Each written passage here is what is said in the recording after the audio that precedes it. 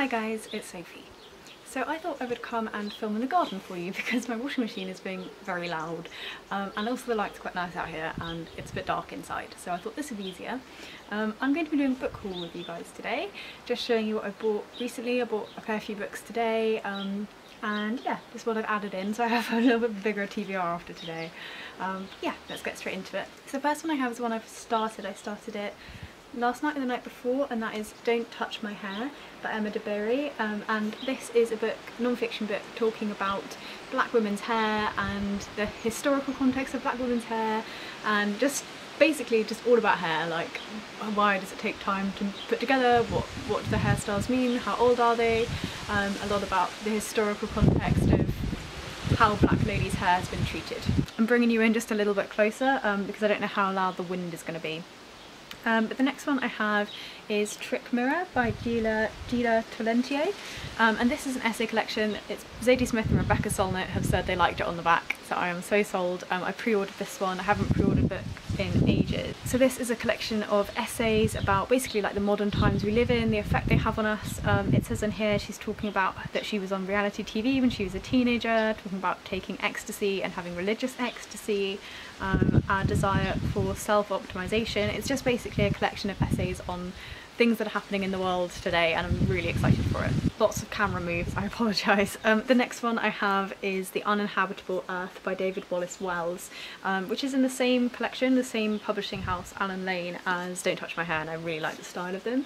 Um, this is a story about like what happens to the earth at the moment because of climate change and what will happen to the earth um, and it's like quite no holds barred I think so it's talking about not just like what could happen in future, but what's already happened and what we don't necessarily know about what's already happened. I'm really looking forward to reading this one. I've really enjoyed reading more about climate change recently and yeah, just excited to get into this one as well. Next one I picked up is The Heartland, um, Finding and Losing Schizophrenia by Nathan Filer. I read um, The Shock of the Fall ages ago um, which is about schizophrenia and he's talking in this book about his experiences um, as a mental health nurse and his experience on psychiatric wards.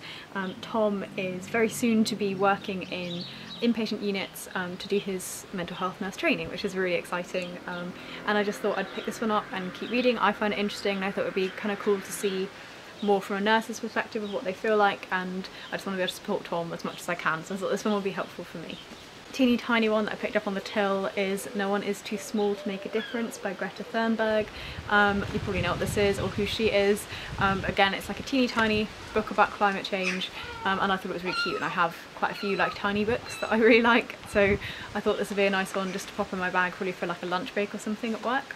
And then the next one I got has such a beautiful cover um, and this is Superior, The Return of Race Science um, by Angela Saini.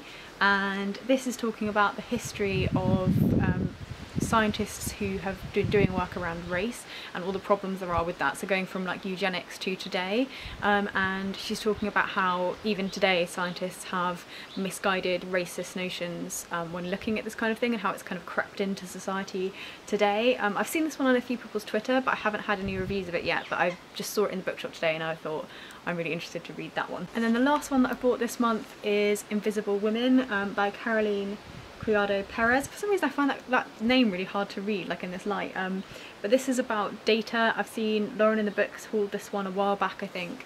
Um, this is basically talking about all the reasons um, that things are designed with kind of like men in mind and the, what the problems are. So things like um, on the cover it describes like the size of your phone, it's too big for your hand if you're a girl, and that seatbelt um, seatbelts are tested with male crash test dummies and how they can actually hurt girls more than help them in a car accident. Yes, I've been thinking about picking this one up for a while, but I just hadn't got around to it, and then I saw it today and I thought, yes, today is the day. Um, so mostly non-fiction, uh, which is cool because I've had quite, I've got quite a few like thick fiction books on the go at the minute. Um, and I want non-fiction to balance them out. So yeah, you'll see soon what I think of these ones.